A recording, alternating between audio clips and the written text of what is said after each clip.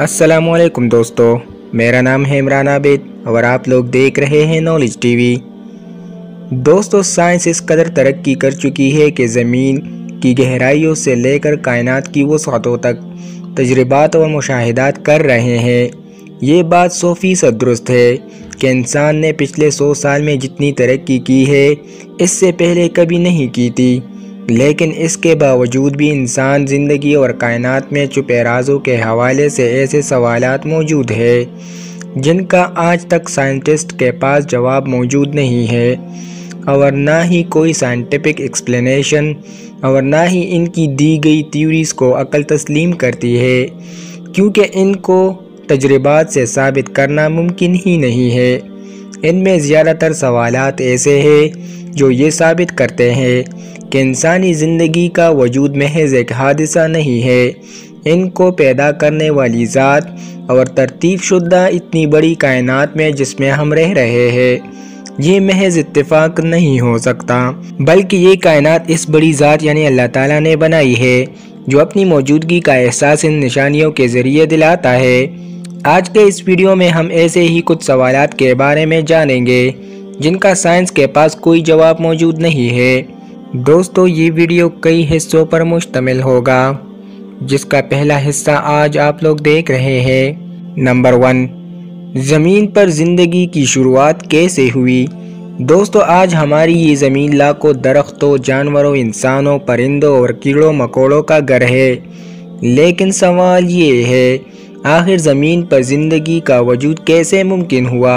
Science के मुताबिक, आज से तकरीबन चार बिलियन साल पहले जेर ज़मीन एक सेल वाले माइक्रो ऑर्गेनिज्म ने जन्म लिया, जिनसे बढ़ते बढ़ते मुख्तलिफ़ जानवरों और फिर हम इंसान बने। लेकिन इस थ्योरी के अंदर सबसे अहम सवाल का जवाब मिसिंग है। वो ये कि इससे पहले जानदार का डीएनए कहाँ से वजूद में आया, जिसने तमाम जानदारों को ज़िंदगी दी यानी सेल को डीएनए की सूरत में हुक्म दिया गया कि इसने कौन सा जानदार बनना है, क्योंकि डीएनए के बारे में हम जानते हैं कि ये इंसानी जिस्म का बिल्डिंग ब्लॉक होता है। यही डिसाइड करता है, इंसान का बच्चा इंसान बनेगा और जानवरों के बच्चे को जानवर बनना होगा, जो कि कोर्ट की सूरत में हर जानदार विरासत में अपनी माँ बाप से हासिल करता है। लेकिन साइंस ये नहीं जानती कि इतनी तरतीब शुदा मालूम डी एन ए की सूरत में जेर ज़मीन मौजूद। आखिर किसने इन एक सिल वाले जानवरों के अंदर डाली?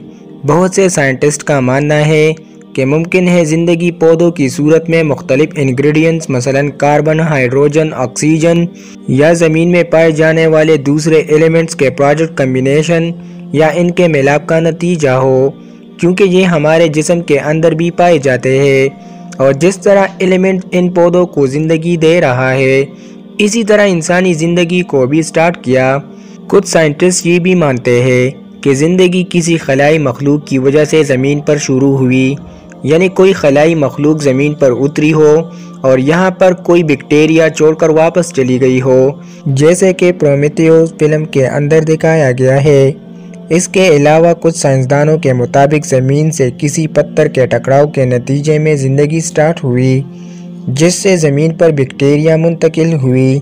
लेकिन असल में साइंसदान ये नहीं जानते कि आखिर ज़िंदगी कैसे शुरू हुई। ये तो बस थ्योरीज है। जहाँ तक यूनिसेल वाले जानवरों का ताल्लुक है तो ये बात बिल्कुल ठीक है कि तमाम जानदार एक सेल वाले समंदरी जानवरों से मौजूद में आए। ये हम नहीं बल्कि कुरान पाक कहता है सूर्य नूर आयात 45 के अंदर अल्लाह ताला इरशाद फरमाते हैं तो अल्लाह ही ने हर चलने फिरने वाले जानवरों को पानी से पैदा किया। तो इसमें बाज़ ऐसे हैं जो पेट के बल चलते हैं, बाज़ ऐसे हैं जो दो पाँव पर चलते हैं, और बाज़ ऐसे हैं जो चार पाँव पर चलते हैं, और अल्लाह जो चाहता है पैदा करता है, और वो हर चीज़ पर कादिर है। यानी कि हर जानदार को पैदा करने का हुक्म अल्लाह ताला ने दिया, क्योंकि पैदा करने वाली सिर्फ़ अल्लाह ताला की ज़ात है। यानी इंसानों के डीएनए जिसके ज़रिए इंसानों की नस्ल चल रही है, और इंसानी नस्लें जहाँ से बढ़ती रही, वो असल में अम्मा हवा और हज़रत आदम सलाम है, जहाँ से हम इंसानों की नस्लें शुरू हुई। यानी हम किसी जानदार की इरतकाई शक्ल नहीं है। दोस्तों, आपका इस बारे में क्या ख्याल है?